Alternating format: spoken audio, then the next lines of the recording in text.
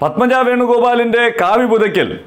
കേരളത്തിൽ B J പിക്ക് ഒരു അനുകൂല സാഹചര്യവും സൃഷ്ടിക്കാൻ പോകുന്നില്ല എന്ന യാഥാർത്ഥ്യമുള്ളപ്പോഴും കോൺഗ്രസിനെ സംബന്ധിച്ചിടത്തോളം അതുണ്ടാക്കുന്ന ക്ഷീണം പലതാണ്. ഒന്ന് ലീഡർ കെ കരുണാകരന്റെ മകൾ. ലീഡർ എന്നും എതിർത്തിരുന്ന സംഘപരിവാർ പാളയത്തിലേക്ക് പോകുന്നു എന്നുള്ളതാണ്. അതിനപ്പുറത്ത് തെരഞ്ഞെടുപ്പ് അടുത്തിരിക്കുന്ന വേളയിൽ വടകരയിൽ മത്സരിക്കാൻ ഒരുങ്ങുന്ന സ്വന്തം സഹോദരന്റെ കുഴിവെട്ടാനാണ് പത്മജ വേണുഗോപാൽ ഈ നീക്കത്തിലൂടെ തയ്യാറായത് എന്നുള്ളതാണ്.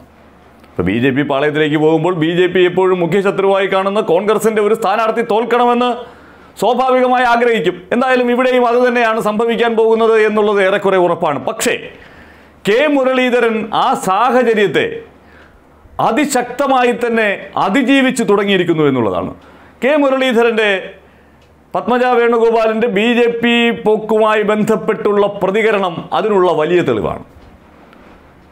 കൃത്യമായി ഷാർപ്പായി എവിടെയാണോ പിടിക്കേണ്ടത് അവിടെ പിടിക്കാൻ മുരളീധരന് സാധിച്ചു എന്നുള്ളത് ഈ പ്രതിസന്ധി ഘട്ടത്തെ അതിജീവിക്കാൻ മുരളീധരന് സാധിക്കും എന്നുള്ളതിന്റെ തെളിവായി മാറിയിട്ടുണ്ട്.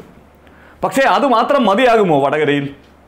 ഇപ്പൊ പത്മജയുമായി ബന്ധമില്ല എന്ന് പറയുന്നു. സംഘികളെ കെ കരുണാകരന്റെ ശവകുടീരത്തിൽ കയറി നിരങ്ങാൻ അനുവദിക്കില്ല എന്ന് പറയുന്നു. അറ്റ് ഹോമുമായി നടന്ന സ്വന്തം സഹോദരിക്ക് ഇത്രയുമൊക്കെ ചുമതലകൾ പാർട്ടി കൊടുത്തില്ലേ? മത്സരിക്കാനുള്ള അവസരം നൽകിയില്ലേ?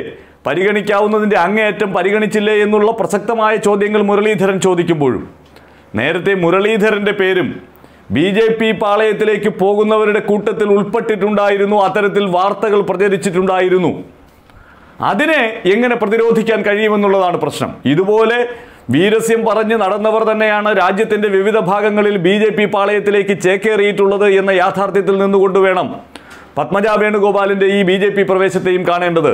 അത് വടകരയിൽ ന്യൂനപക്ഷ വോട്ടുകൾ അതിനിർണായകമായിട്ടുള്ള ഒരു മണ്ഡലത്തിൽ കെ മുരളീധരനെ പ്രതിരോധത്തിലാക്കും. ഇപ്പോൾ ഈ സാഹചര്യത്തെ മുരളീധരൻ തന്റെ വാക്ചാതുരി കൊണ്ട് തന്റെ നിലപാട് കൊണ്ട് അതിശക്തമായി തന്നെ പ്രതിരോധിച്ചിരിക്കുന്നു. പക്ഷേ വടകരയിലെ സാധാരണക്കാരായ ന്യൂനപക്ഷ വോട്ടർമാരുടെ മുന്നിൽ അത്ര പെട്ടെന്ന് ആ വാചക കസർത്ത് കൊണ്ട് മാത്രം പ്രതിരോധമൊരുക്കാൻ കഴിയുമോ എന്നുള്ള കാര്യം സംശയമാണ്.